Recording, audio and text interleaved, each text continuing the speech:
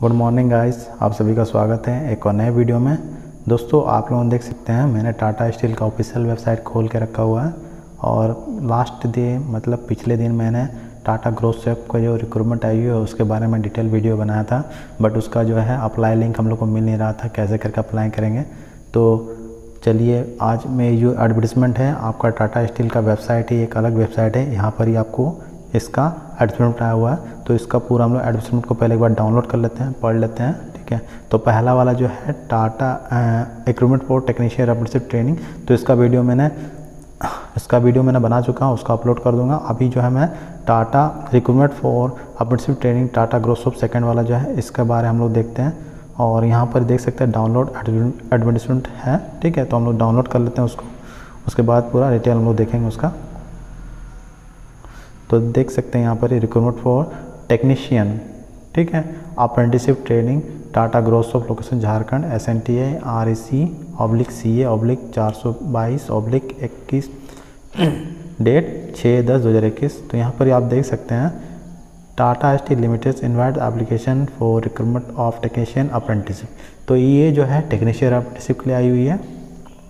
और यहाँ पर ही देख सकते हैं एलिबिलिटी लिखा गया है। तो इसके लिए जो आपका है डिप्लोमा पास मांगा है, ठीक है? और डिप्लोमा जो है कैंडिडेट को कम से कम 70 परसेंट मार्क्स उनका होना चाहिए जनरल कैंडिडेट के लिए। अगर आप S C S T candidate हैं तो आपको 60 परसेंट मार्क्स हैं, तब भी इसके लिए अप्लाई कर सकते हैं। और आपका जो डिप्लोमा है, वो आपका A I C T E means all India council for technical education यहाँ से आपका जो है सर्टिफिकेट होना चाहिए, या फिर ओ ठीक है? और जो भी कैंडिडेट जो है, पहले ही टेक्नीशियन अप्रेंटिसिप का ट्रेनिंग कर चुके हैं तो इसके लिए आवेदन नहीं कर सकते हैं। और इसमें देख सकते हैं एलिजिबल ट्रेड तो जैसे डिप्लोमा में आपका जैसे मैकेनिकल था, या फिर इलेक्ट्रिकल था, या फिर टूल एंड डाई था, या फिर वेल्डिंग या फिर गैस कटिंग ये सारा जो आपका ट्रेड है, इसमें से ही अगर आप पास आउट है, तभी इस फॉर्म को भर सकते हैं। और इसमें देख आप देख सकते हैं मस्ट है pass diploma on after one January 18 ठीक है? तो इसका मतलब है कि आपका जो है डिप्लोमा जो है, वो 2018 एक जनवरी 2018 के बाद ही कंप्लीट होना चाहिए। अगर उससे पहले आप कंप्लीट किए हैं तो आप इसके लिए आवेदन नहीं कर सकते हैं। उसके बाद आप देख सकते हैं एज तो देखिए यहाँ पर the candidate must have been born between एक जुलाई 2003 एंड एक जुलाई उन्नीस सौ छियानवे। तो इसमें आपका बोला गया है, जो कैंडिडेट इसमें आवेदन करेंगे उसका जन्म जो है एक जुलाई 2003 से लेकर एक जुलाई उन्नीस इनके बीच में उनका जन्म होना चाहिए। अगर आप शेड्यूल कास्ट या शेड्यूल ट्राइब से बिलोंग करते हैं तो आपका जन्म जो है एक जुलाई 2003 से लेकर एक जुलाई उन्नीस सौ पंचानवे, इसके बीच में होना चाहिए। उसके बाद आप देख सकते हैं चार नंबर फ़िज़िकल फिटनेस दिया गया है। तो जिसमें जो कैंडिडेट आवेदन करेंगे, उसका हाइट आपका एक सौ बावन सेंटीमीटर मांगा गया है। अगर आप गर्ल्स कैंडिडेट हैं तो एक सौ बयालीस सेंटीमीटर मांगा गया है। चेस्ट का जो एक्सपेंसन इसमें पाँच सेंटर में आ गया है और आई साइट आपका सिक्स बाई सिक्स में आ गया है, जो है आपका दोनों आँखों के लिए कलर विज़न नॉर्मल मांगा गया है। उसके साथ यहाँ पर वेट जो है 45 फाइव के जी मांगा गया है। अगर आप गर्ल्स कैंडिडेट है तो आपका वेट जो है 40 के जी मांगा गया है। और पावर ग्लास अगर अपन यूज़ करते तो four plus minus four point zero से ज़्यादा नहीं होना चाहिए। और यहाँ पर डोमिसाइल जो देख सकते हैं स्टेट ऑफ़ झारखंड तो यहाँ पर जो झारखंड के कैंडिडेट है, इसमें आवेदन कर पाएँगे। मीन्स झारखंड के जिसके पास डोमिसाइल सर्टिफिकेट होगा, वही इसके लिए आवेदन कर पाएँगे। उसके बाद देखिए स्टाफन ट्रेनिंग एंड एम्प्लॉयमेंट तो यहाँ पर देख सकते हैं the candidate on recruitment as training technician apprenticeship will get the stipend during the training period as specified in the apprenticeship act तो इसमें जो आपको है अप्रेंटिसिप ट्रेनिंग के लिए जो आवेदन करेंगे तो ट्रेनिंग के दौरान आपको जो है, आपको स्टाफन दिया जाएगा। Training duration will be one year इसका जो ट्रेनिंग का अवधि होगा आपका एक साल का होगा और यहाँ पर लिखा on successful completion of training will be awarded the apprenticeship completion certificate तो यहाँ पर आप देख सकते हैं अप्रेंटिसिप कंपटीशन सर्टिफिकेट आपको दिया जाएगा, जिसका बहुत वैल्यू है। आप कहीं भी इसके बाद आवेदन कीजिएगा तो आपको बहुत काम देगा। उसके बाद अगर इसका आवेदन करना चाहते हैं तो careers dot Tata steel India dot com यहाँ पर ही आप जाके क्लिक कर सकते हैं। नहीं तो वीडियो को आप लोग लास्ट तक बने रहेगा मैं इसमें आप लोगों का भी आवेदन करने का तरीका ही बताऊँगा। और इसका जो ऑनलाइन स्टार्ट हो चुका है लास्ट डेट आपका चौदह अक्टूबर है। और इसके बाद देखिए, यहाँ पर स्पेशल इंस्ट्रक्शन दिया गया है। चौदह अक्टूबर जो इसमें बताया गया है। और इसके साथ आपको जो है, कोई डॉक्यूमेंट आपको भेजना नहीं है। और जो इसमें कैंडिडेट आवेदन करना चाहते हैं, उनको जो है, दो सौ का फ़ी देना पड़ेगा। और जो फ़ी होगा, वो रिफंडेबल नहीं है, ठीक है? और इसमें बोला है कि अगर आपका जैसे कि कुछ फॉर्म भरिएगा, फॉर्म में कुछ भी मिस मतलब गलत यूज़ मत कीजिएगा, ठीक है? जैसे आप फॉल्स मत डालिए, क्योंकि अगर आपका कहीं भी फॉल्स पकड़ाएगा सिलेक्शन प्रोसेस में तो आपको आगे में प्रॉब्लम हो सकता है, ठीक है? अगर आपको कोई डाउट होगा तो यहाँ पर ही आप देख सकते हैं S N T I dot recruit at the rate Tata steel dot com इस जो मेल आईडी में आप लोग मेल कर सकते हैं, अपना डाउट पूछ सकते हैं, और इसका सिलेक्शन प्रोसेस आप देख सकते हैं। Online written test follow by interview, skill assessment and medical test. तो इसका सिलेक्शन जो होगा, जो है, रिटर्न टेस्ट होगा, उसके बाद इंटरव्यू या फिर स्किल टेस्ट होगा। और इसमें गर्ल्स कैंडिडेट को ज़्यादा प्रेफरेंस दिया जाएगा तो आप लोग जितना हो जाएगा गर्ल्स कैंडिडेट को ज़्यादा इसको फॉर्म भरिएगा। तो चलिए उसका तो डिटेल में देख लिया। आप यहाँ पर देख सकते हैं, एप्लीकेशन लिखा हुआ। तो एप्लीकेशन में जैसे क्लिक कीजिएगा देखिए तो Tata apprenticeship training, Tata grosso.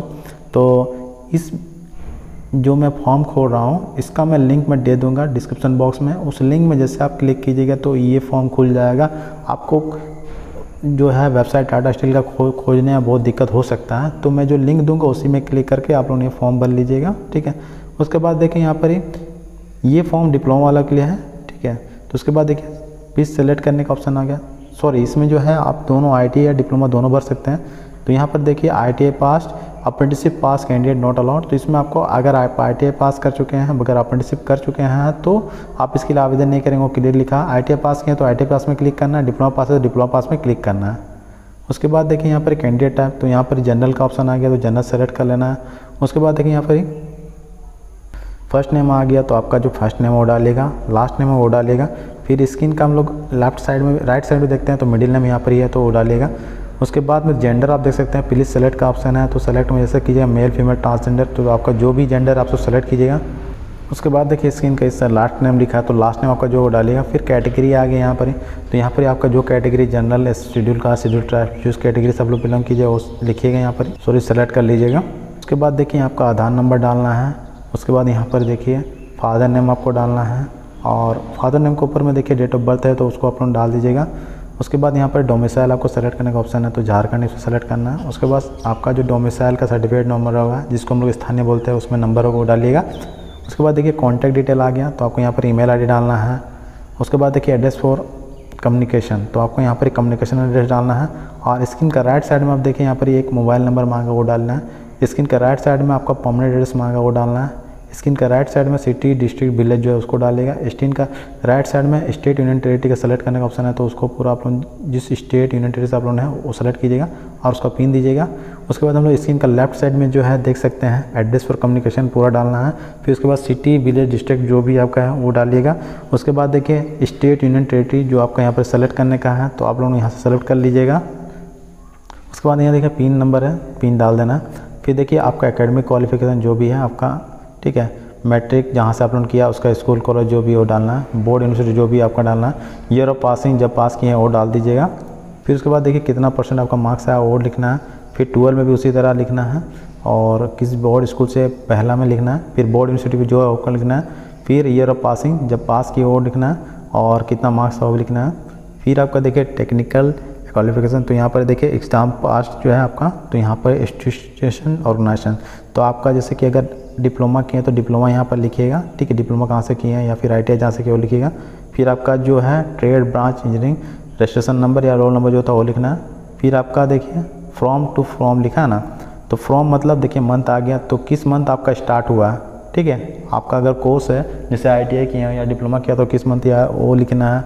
फिर देखिए, उसके बाद ईयर, किस ईयर में आपका, किस ईयर में स्टार्ट हुआ तो लिखना है। टू में देखिए, उसके बाद मंथ में किस मंथ तक आपका चला और किस ईयर में आपका तक चला, वो यहाँ पर लिखना। है उसके बाद कितना मार्क्स आपने लाया, वो लिखना। है उसके बाद पेज को फिर यहाँ पे देखिए आई एग्री करके लिखा है, इसमें क्लिक कर देना। फिर पेज को हम लोग नीचे करना। है पेज को जैसे नीचे कीजिएगा तो डाटा प्राइवेसी लिखा हुआ। फिर उसके बाद सबमिट लिखा हुआ, उसमें हम लोग को क्लिक कर देना। है तो ये पूरा प्रोसेस है इसका फॉर्म भरने का। मैं आशा करता हूँ कि मैंने जो जानकारी दी है वो लोगों, आप लोगों समझ पाए होंगे और आप लोगों ने इसको देख के भर पाएँगे। और अगर आप लोगों को कोई भरने में कोई दिक्कत होगा तो ज़रूर कमेंट कीजिएगा। और इसी तरह की latest vacancy, admit card, result की जानकारी के लिए मेरे चैनल को ज़रूर सब्सक्राइब कीजिएगा। वीडियो अच्छा लगा हो तो लाइक ज़रूर कीजिएगा और इस वीडियो को जितना होगा शेयर कीजिएगा ताकि जो भी कैंडिडेट टाटा स्टील में जो अप्रेंटिसिप आया हुआ, उसको फॉर्म को भरना चाहते हैं और उनको देख के भर पाएँ। Thank you for watching.